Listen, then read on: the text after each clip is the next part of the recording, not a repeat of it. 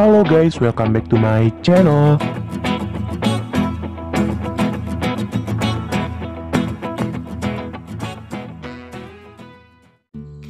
Halo guys, inilah prediksi singkat Ikatan Cinta malam ini. Tonton sampai selesai, biar gak gagal paham ya guys. Di mana sebelumnya, dokter memberitahu Aldebaran jika Andin telah meninggal. Aldebaran menangis, dia tak percaya.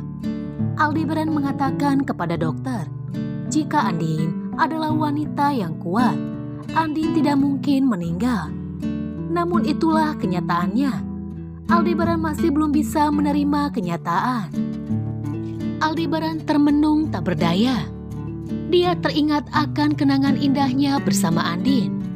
Aldebaran menyalahkan dirinya sendiri atas apa yang terjadi dengan Andin. Apalagi Askara pun telah menghilang. Di mana Aldebaran kehilangan tiga orang sekaligus dalam hidupnya. Aldebaran kehilangan Andin dan anak yang ada dalam kandungannya. Begitupun Aldebaran kehilangan Askara.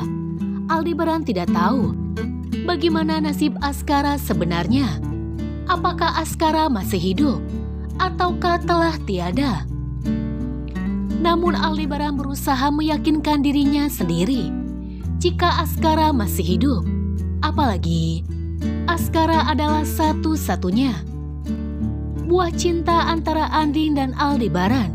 Satu-satunya kenangan yang Andin tinggalkan. Tak lama kemudian, Aldebaran pun mencopot infusan di tangannya. Dia berusaha untuk berdiri. Di mana Aldebaran tetap ngotot, ingin bertemu dengan istrinya. Di mana Aldebaran masih tak percaya jika Andin pergi selama-lamanya. Aldebaran yang masih lemas dia berusaha untuk berdiri dan bangun dari tempat tidurnya. Sampai akhirnya Aldebaran terjatuh, kepalanya pun terbentur. Dia berusaha berjalan. Di mana Aldebaran ingin menemui Andi dan memeluk Andi dengan erat. Aldebaran pun menangis histeris saat dia mencoba membuka penutup kain yang menutupi wajah Andin tangan Aldebaran bergemetar. Di mana ini adalah mimpi buruk Aldebaran. Perlahan dia membukanya. Dan ternyata memang benar. Andin sudah tak bernyawa. Kalian bisa bayangkan bagaimana hancurnya hati Aldebaran saat melihat istrinya tak bernyawa. Tangan Aldebaran mencoba memegang pipi Andin dan mencoba memegang tangannya Aldebaran berusaha untuk membangunkan Andin. Din, saya mohon, bangun Din, jangan tinggalkan saya. Beritahu saya jika ini hanya sebuah mimpi belaka. Kamu sudah janji kepada saya, kamu nggak akan ninggalin saya. Suara Aldebaran pun bergemetar. Dia berusaha membangunkan Andin. Namun sayang, Andin tak kunjung bangun dia telah pergi untuk selamanya. Aldebaran pun tak mau melepaskan Andin dari pelukannya.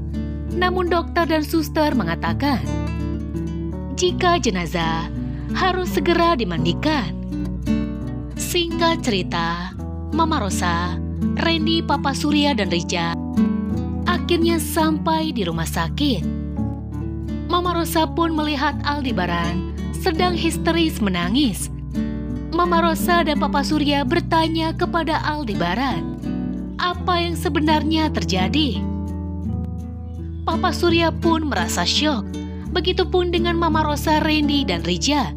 Saat dokter mengatakan, jika Ibu Andin telah meninggal, Aldebaran pun menyalahkan dirinya sendiri kepada Mama Rosa dan Papa Surya, di mana Aldebaran tidak bisa menjaga Andin dengan baik.